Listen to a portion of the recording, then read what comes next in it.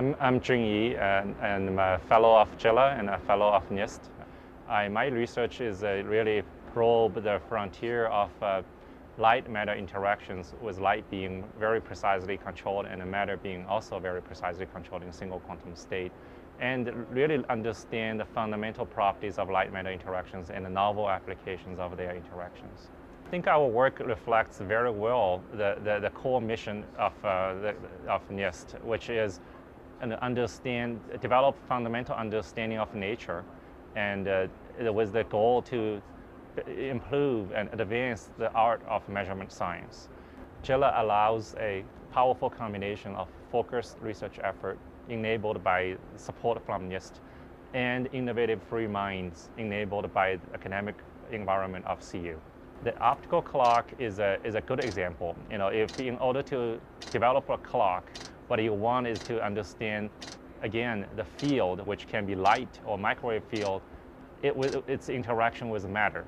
And so what we can do now is to maintain very high phase stable uh, optical field and also prepare matter in a single quantum state and then bring the light and the matter together and let them interact.